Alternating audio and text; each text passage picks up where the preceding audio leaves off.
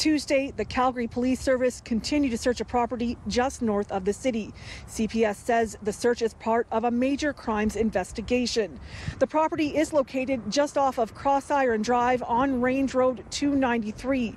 The location is described as a rural property, but if you look around me here, you can see that it's close to a very popular retail location. Behind me, the parking lot has some business locations. Beyond that is New Horizon Mall, and just north of that is Cross Iron Mills Mall. And as I stand here just on Range Road 293, so just north of me, I can see a casino and also a furniture store. In a statement, CPS says it is unable to release details around which case this search is connected to or what they are searching for, but will provide updates should they find something that progresses or advances an investigation.